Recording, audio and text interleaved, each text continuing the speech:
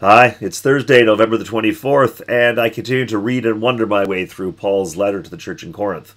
Uh, the first letter, at least the one we call the first letter, 1 Corinthians chapter 6, verses 12 to 20. Uh, when Paul began the chapter, basically he was upset that members of the, the church were um, suing each other in court. They were appealing to, to secular courts to do things. They were I wondered whether he was upset that they were airing their dirty laundry in public or whether they were seeking wisdom that was not holy wisdom. And he sort of leaned into both, I thought. Um, but but no matter how you read it, Paul was very clear about sort of keeping the church world separate from the secular world. Keep the sacred stuff in here uh, and that other stuff out there. Not as good as us, so let's stay away from that. Um, and in dealing with the immorality within our own community, so within this church community, um, the people who aren't really complying with the way of Jesus or the will of God, uh, then we should kick them out into the secular world. That's where they belong. They can choose to come back. At least I was being kind, saying that Paul would say they could choose to come back. Um, but Paul was at least saying, get them out. Um, and so he continues sort of on that vein, and let's see what happens. So 1 Corinthians 6 12 to 20. All things are lawful for me, but not all things are beneficial. All things are lawful for me, but I will not be dominated by anything. Food is meant for the stomach, and the stomach for food, and God will destroy both one and the other. The body is meant not for fornication, but for the Lord, and the Lord for the body. And God raised the Lord and will also raise us by his power. Do you not know that your bodies are members of Christ? Should I therefore take the members of Christ and make them members of a prostitute? Never! Do you not know that whoever is united to a prostitute becomes one body with her? For it is said, The two shall be one flesh. But anyone united to the Lord becomes one spirit with him. Shun fornication. Every sin that a person commits is outside the body, but the fornicator sins against the body itself. Or do you not know that your body is a temple of the Holy Spirit within you? Which you have from God, and that you are not your own. For you were bought with a price. Therefore, glorify God in your body. So that's how Paul wraps up this chapter.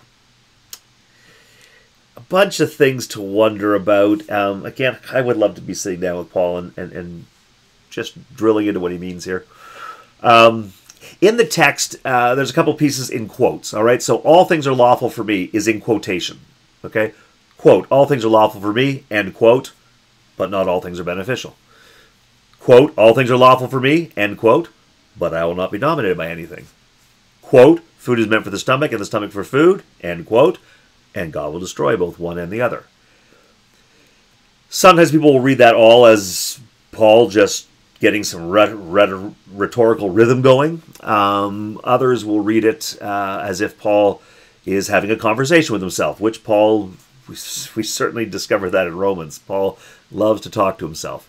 Uh, it's a literary device. I think it works well, and I think that's what Paul's doing here. So Paul is imagining the challenge to what he is saying, and then he is answering it back. So he is saying that the people in the church in Corinth would likely go, Well, but all things are lawful for me. After all, I am forgiven in Christ. After all, I am part of holy community. After all, I recognize God's presence uh, in Jesus. All of those things, I have I have passed all those things. I belong to the church. I get who Jesus is. So then, all things are lawful for me. You may recall Paul talking about that he could eat whatever he wants to eat, but you know maybe you don't, but you can, um, because those things don't really matter. So I think that Paul is is imagining the argument. All things are lawful for me. And his response is, yeah, but they're not all beneficial. Yeah, all things are lawful for me, said again. And he says, yeah, but I'm not going to be dominated by anything. Yeah, but food is meant for the stomach, and the stomach for food. And Paul goes, yeah, God will destroy both one and, and the other. Uh, again, destroy is a hard word there, I think, um, but I think he is saying that yes, and, and these things are all perishable. They're not eternal like God, they will disappear. So I think that Paul is imagining the argument um, around uh, around prostitutes, uh, which um, were popular in Corinth and have been popular in most places. Actually, um, when I say popular, meaning they were present, easy to find, um, and um, I'm not referring to sex workers. Uh, options have always been there, so you know enjoyed by the general populace. Popular. Um, and so I think that's what he's talking about first. And someone's like, "Yeah, but so all things are lawful for me. I mean, what's what's the big deal?" So yeah, fine, they they are, but they're not beneficial, are they? Yeah, but but you know they're lawful for me, and and I think Paul is also recognizing what happens for us in um, in sexual relationships that we um, end up investing uh, emotionally, and if we're not aware of the intimacy of what's going on, that we can lose perspective and become dominated by it. I, I would agree with Paul to some degree in that. And then I think here's the idea, but food's meant for the stomach, the stomach's meant for food, as if to say, hey, my body is built to to respond sexually, so of course I'm going to. What's wrong with that? Um, so there should be no problem with me going to a sex worker.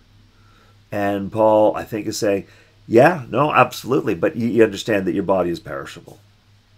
You should be focusing on the eternal things. The body is not meant for fornication, but for the Lord. Now that's when he gets into it, saying, okay, so you can use your body for all sorts of things. It's meant to do things. It can do things. It's capable of doing things. It wants to do things. You, you have urges and drives to do these things. Um, but, but if your primary focus is your relationship with God, then you need to consider all of that. So, are these things beneficial to your relationship with God, whatever these things may be? Here, he's talking about sex. He's talking about sex workers. Um, I think he's being a little well, actually, no. I was about to say I think he's being demeaning to sex workers. No, he is. I was going to say the text doesn't say that. No, it it, it, it does. Uh, should I therefore take the members of Christ and make them members of a prostitute? Never. That would be a terrible thing. So, for Paul, I assume that prostitutes would not belong within that church community. If you were a prostitute, you would be shunned. I'm inferring that from what he says.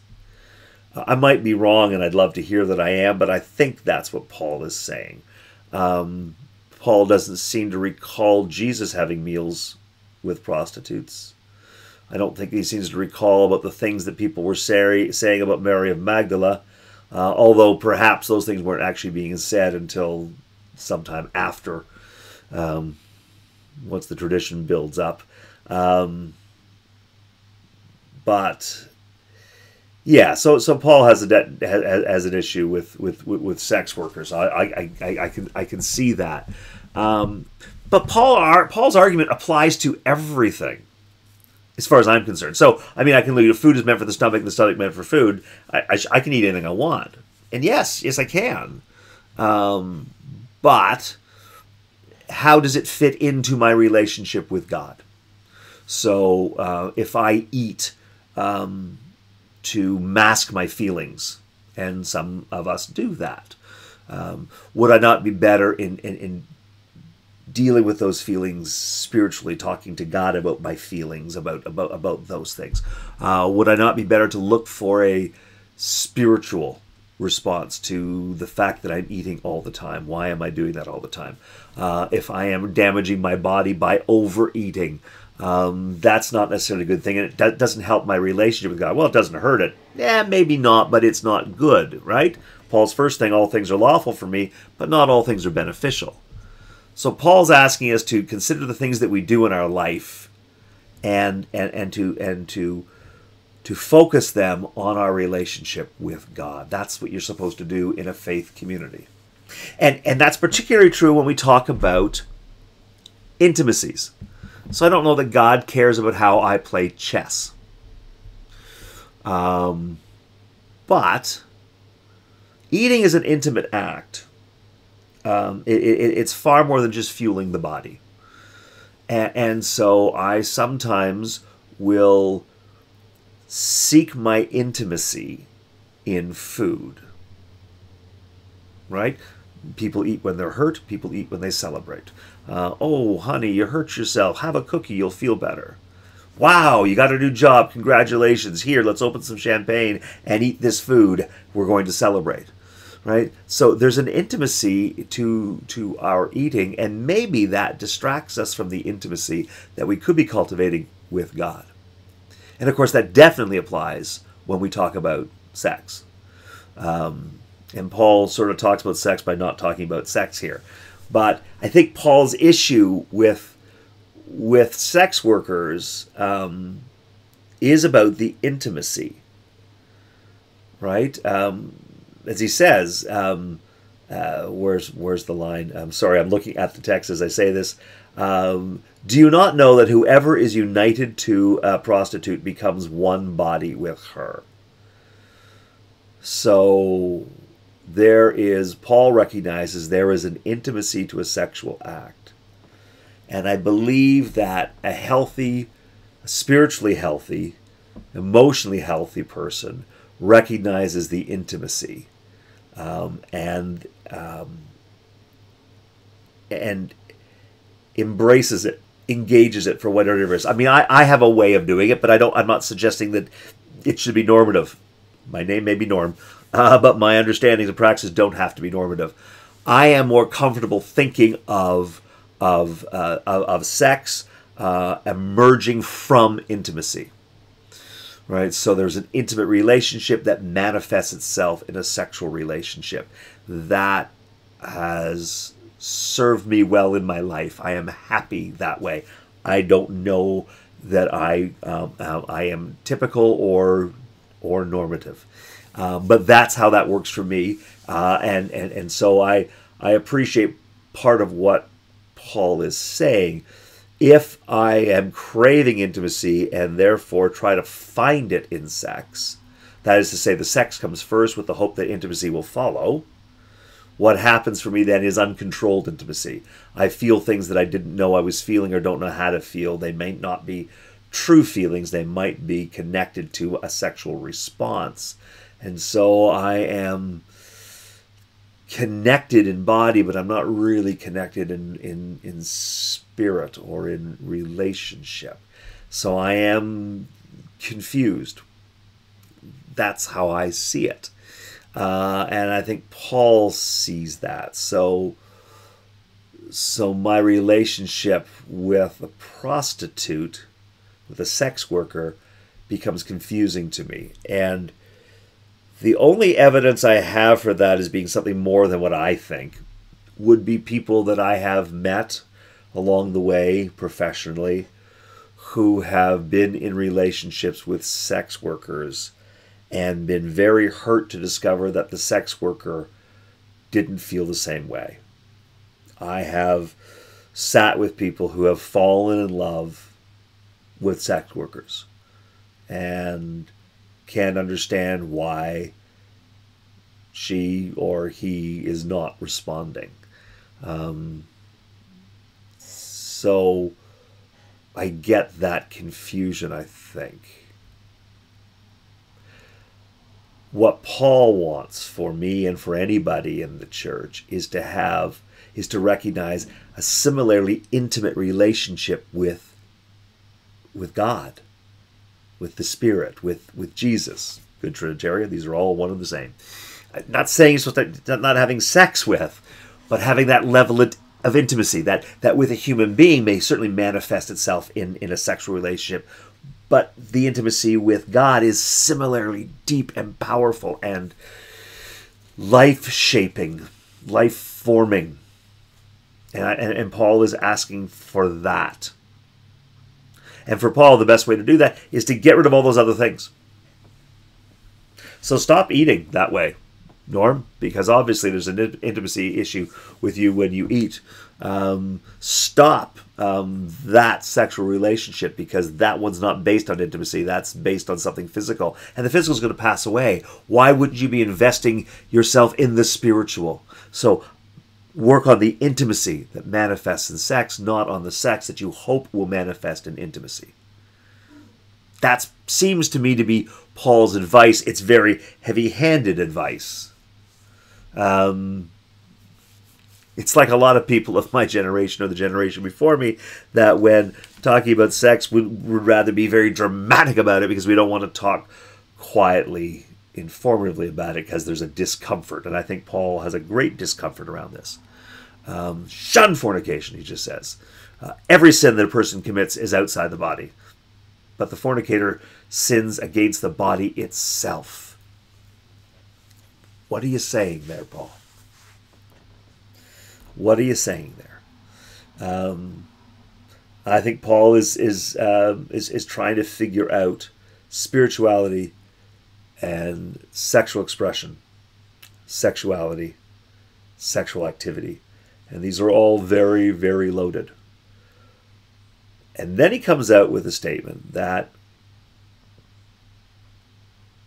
I'm not going to say it originates with Paul, but it's not particularly a gospel statement. Do you not know that your body is a temple of the Holy Spirit within you?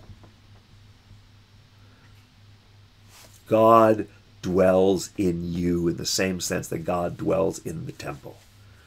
Paul is saying that. That is not something that's been said a lot before Paul. Now, he says, You're not your own, um, meaning that Jesus died on the cross for you, therefore, in a sense, Jesus owns you. Uh, you belong to Jesus, you belong to God. And in, saying that to, to members of a community of faith, then that's absolutely true in a sense. That is part of, you know, the theology that brought you here, or the theology that you espouse now that you are here. And so Paul's reminding of that. But but then to say that, yes, but but you, your body is a temple of the Holy Spirit. Holy Spirit's within you, comes from God. God is within you. So, treat your body well. Don't don't confuse intimate growth by going to sex workers or by I would say we could also include um, eating badly, whatever that might mean. That might mean drunkenness, that might mean obesity, uh, that might mean, I don't know, all sorts of things it could possibly mean. Um, going back to that first thing, all things are lawful for me. Paul doesn't dispute that, this idea that, that, that you are forgiven, that you are one with God, but being in that relationship with God, then you should be doing the things that are beneficial to that relationship again, I'll use sort of a, a, a cis heteronormative um, situation. Um, I can be, uh, I am very happily married to to my wife. Actually, wedding anniversary tomorrow. Um, have been for a very long time, and uh, I suppose I could gaze at a beautiful woman and say, "What? There's nothing wrong with that. I'm I'm happily married. I'm not doing anything about it." And somebody who knows me well, if I was doing that, might say, "Yeah, Norm, but, how is it actually helping your marriage?" I mean, you love your wife, right? That's that's your primary relationship for you. So staring at that woman going by, how is that benefiting? Yes, I'm, I'm allowed to do it. Yeah, I know, but how is it how is it benefiting you? Well, I know, but I should be allowed to do it. Yeah, but how is it benefiting? How does this help your relationship with your wife? or or is it distracting you? Paul would say dominating. I will not be dominated by anything. How is it distracting you, taking you away from your the focus that you want to have? Yeah, I know, but I'm just a man, and that's just she's just she's that's a pretty woman. I don't know. And one day you're going to grow old and you are not going to be as attractive as you are today. And one day your wife is going to grow old and, and will not appear as attractive as that woman who just walked by, perhaps one day. Um, does that mean then that you're, you expect your relationship to deteriorate? You're no longer as attractive, she's no longer as attractive. Is that all that binds you? Because I would think, Norm, if you really valued that relationship and loved your wife and loved yourself, that you would be working on the intimacy that allows you to grow old together and to be beautiful together always. Huh? Okay, I went down a little garden path there. But I think that's what Paul is getting at when it comes to our intimate relationship with God.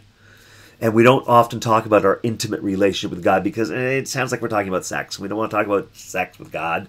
Um, sex is the thing we have difficulty discussing. And yet, Paul's reminding us that our relationship with God is intimate, powerfully intimate. And if we don't have some sense of of, of what intimacy means in our lives and how we cultivate inti- intimacy and how we respond in intimate relationships. If we don't work on that, then we're going to find ourselves drifting from God. So, focus on that. For Paul, that's like, so enough with the sex workers. Don't you dare do that. Um, I don't know. I don't have that kind of relationship, so I can't.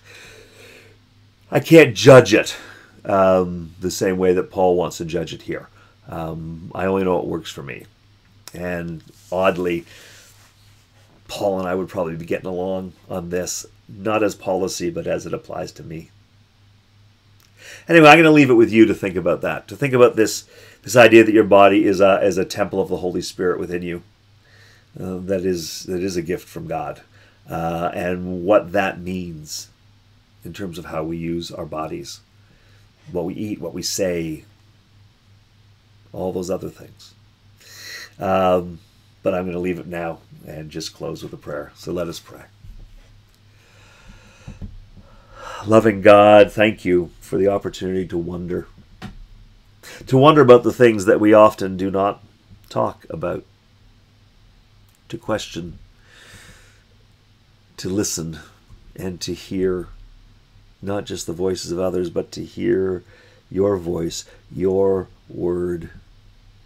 God, we ask that our wondering today be beneficial, that it help us grow in faith and develop a more intimate relationship with you. We pray in the name of your Son, Jesus, through the Holy Spirit. Amen. That's it for me today, but I look forward to checking in with you tomorrow. Uh, until I get to see you, just God bless you. Um, please know that God sees you, that in fact, you are a temple for the Holy Spirit. Uh, and that's maybe how God's love moves through you out into the world. So um, don't ever doubt how important you are. And uh, yeah, consider this reading and see what it means to you in that context. Anyway, until I get to see you, God bless you.